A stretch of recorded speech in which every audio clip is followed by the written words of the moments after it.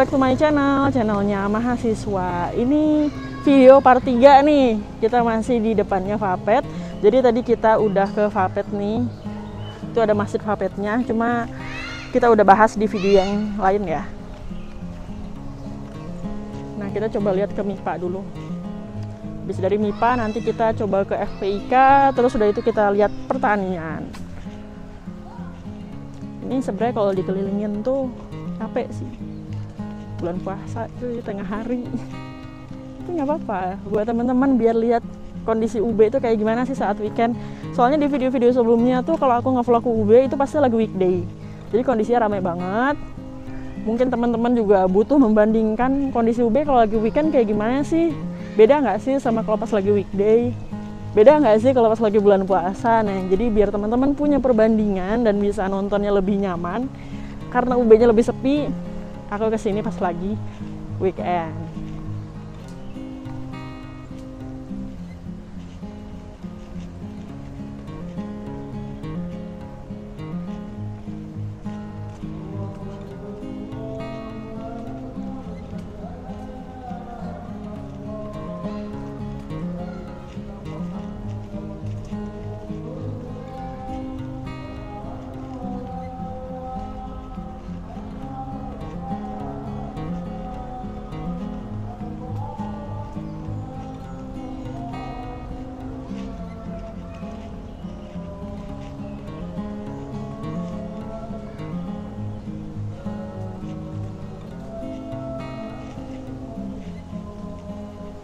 Nah, jadi di sini juga parkiran mahasiswa ya.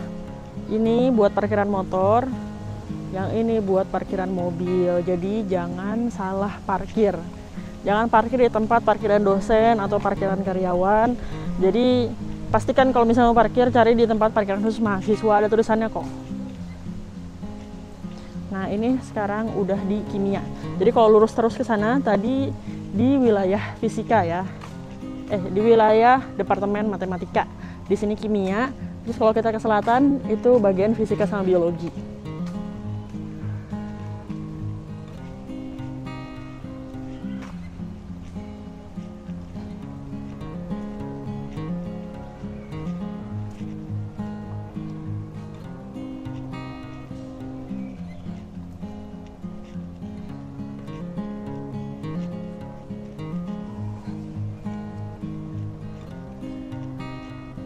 di sini ada kantor himpunan mahasiswa kimia juga. Kalau teman-teman tanya, kalau himpunan itu emang di luar kayak kepisah-pisah gitu, tergantung fakultasnya sih. Ada yang disatukan gitu. Kalau kayak FTP itu disatukan di lantai 3 gedung D. Tapi ada juga yang kepisah-pisah kayak gini. Kalau yang FH itu ada di bagian belakang gedung. Di situ semua gabung jadi ya tergantung fakultasnya. Kamu kuliah di fakultas mana? Nah di depan kita ini FIB jadi kita balik lagi ke belakang rektorat.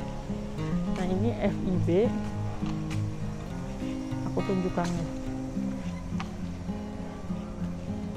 Nah ini ini Institut Atsiri nih yang kanan. Ini yang sebelah kiri FIB depannya lagi rektorat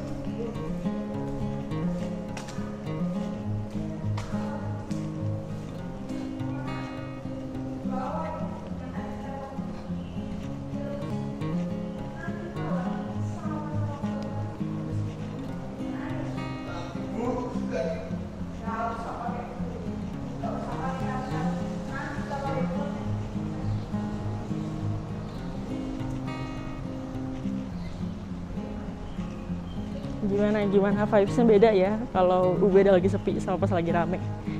UB itu kondisi paling rame itu sore biasanya pas lagi selesai kuliah tapi mahasiswa masih pada di kampus belum pada pulang sama yang baru mau kuliah sore ke malam. Sebenarnya itu harusnya nggak ada kuliah malam sih cuma ya dalam beberapa kondisi nih misalnya kayak dosennya nggak bisa di jam seni uh, jam pagi sampai sore. Bisanya malam ya udah kalau atau kalau nggak kelasnya penuh misalnya baru dapat kelas kosong malam ya baru kuliah malam. Aku pernah ngerasain kuliah paling pagi setengah tujuh pagi dan baru selesai malam banget tuh jam 9 malam. Jadi waktu itu dosennya emang bisanya malam dan waktu itu FTPUB itu masih ini masih pembangunan gedung barunya. Jadi gedungnya itu masih pakai gedung lama dan itu gantian. Jadi karena ruang kelasnya dikit ya gantian siapa dulu duluan kan kalau misalnya ketua kelasnya pas dapat kelas yang pagi ya bisa pakai kelasnya pagi-pagi. Tapi kalau misalnya udah penuh nih pagi sampai sore ya kita ngalah ngambil kelasnya yang malam. Jadi aku dulu pernah kuliah itu start jam 8 kayaknya. Satu setengah jam oh berarti selesai selesai setengah 10 bukan jam 9 malam. Setengah 10 tuh. Nah ini rektorat ya tapi bagian selatannya atau sebelah kanannya. Karena depannya tadi yang sebelah sana nah ini FIB yang gedung A yang bagian A jadi ada di sebelah selatan atau ada di sebelah kanannya rektorat. Kalau tadi kita udah ke yang FIB yang wilayah yang B ya, yang ada di sebelah utaranya rektorat.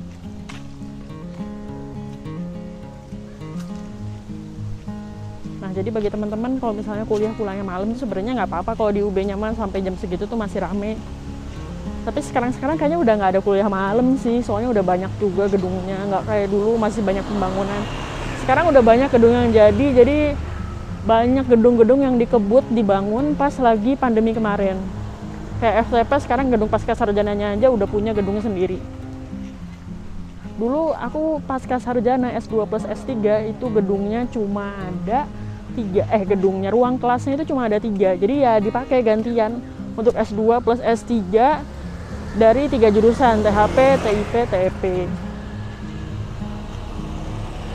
cuma untungnya kalau S2 kan ya nggak terlalu banyak lah kuliahnya nggak kayak waktu S1 S1 SKS-nya aja 2, 24 S2 SKS-nya nggak sebanyak itu.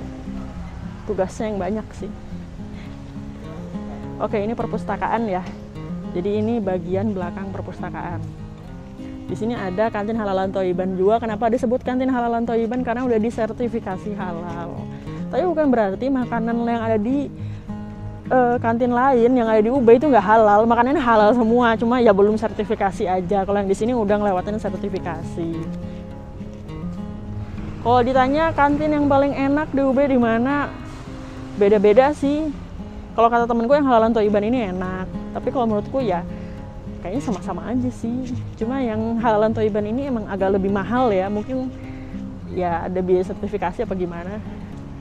Jadi kalau aku biasanya di kantin fakultas sudah enak kok. Jadi ini masih FIB ya.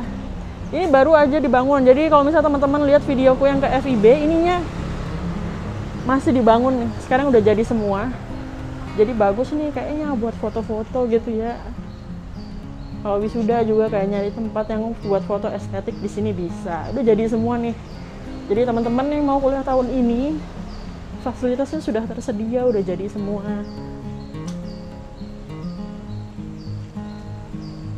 Oh iya FIB juga ini tuh punya kayak unit bahasa gitu dan bukan cuma bahasa Inggris. Jadi ada kursus bahasa asing kayak gini nih.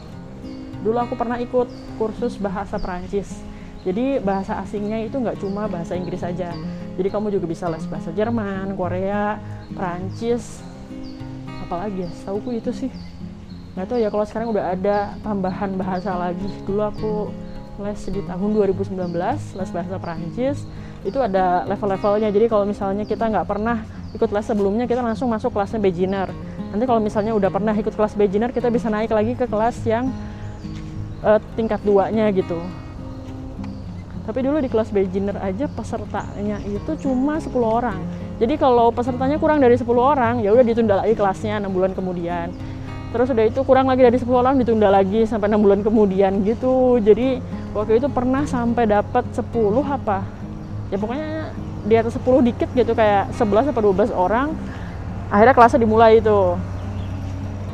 Dua bulan tiga dua bulanan kayaknya kelasnya tapi benar-benar full mahasiswa mahasiswanya. Full pesertanya itu di bulan pertama aja. Eh bulan pertama nggak bulan pertama juga pertemuan pertama. Pertemuan selanjutnya udah mulai berkurang. Pertemuan selanjutnya berkurang lagi. Ya namanya juga seleksi alam ya terakhir terakhirnya jumlah pesertanya paling cuma separuh dari kelasnya yang benar-benar ikut dari awal sampai akhir gitu. Tapi teman-teman kalau mau les bahasa di FIB ini sebenarnya menurutku murah banget ya dibandingkan les di lembaga khusus di luar gitu oke itu FIB ternyata kita belum sempat ke FPIK, FP karena masih ke sana lagi. Dan ini videonya udah hampir 10 menit. Oke, segitu aja kita lanjutin di video part selanjutnya. Terima kasih sudah menonton video ini sampai akhir. Jangan lupa klik subscribe dan turn on notification. Sampai jumpa di video selanjutnya. Terima kasih.